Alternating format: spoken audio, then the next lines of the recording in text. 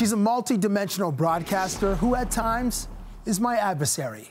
On the ice, she moves like Pavel Bure. On the dance floor, she moves like Katy Perry. On top of the standings in our fantasy football league, there she was, laughing and taunting and saying things like, how you like them apples? Well, I don't like apples. I'm a vegetarian. When you played Super Mario Kart, who was your go-to character? I was Yoshi all the time. Yoshi? I was Bowser.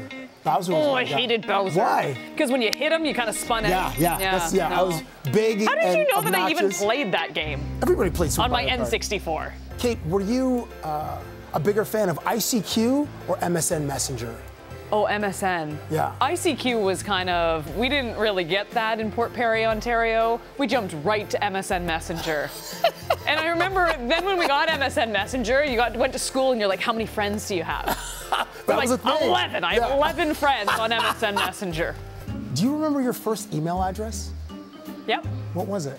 I'm not telling you because it's still active. Are you kidding? No. Is it a Hotmail account? It is a Hotmail account. And the Kate, are you- Hotmail. when are you gonna grow up? How many James Duthies can you bench?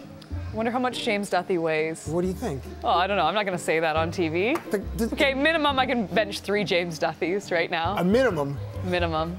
three James Duthies on the bar or three reps of one James Duthie. No, three James Duthies on the bar once. Okay, two. Maybe I'm overdoing it. I think Nabil said he could do uh, three.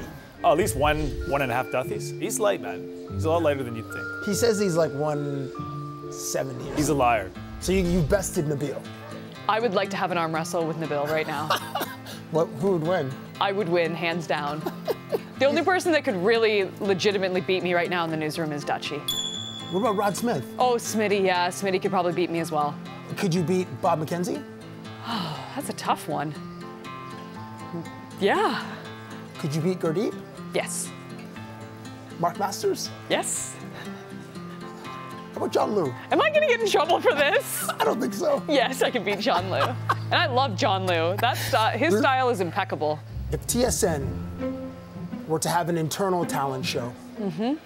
and for your presentation in said talent show, you decided to recreate the dance sequence in Save the Last Dance with Julia Stiles. Remember when they were they were practicing? Mm-hmm. That was amazing. Who would you choose as your partner? Wow. Do I have to pick someone here? Well, someone that they know. Then I pick you.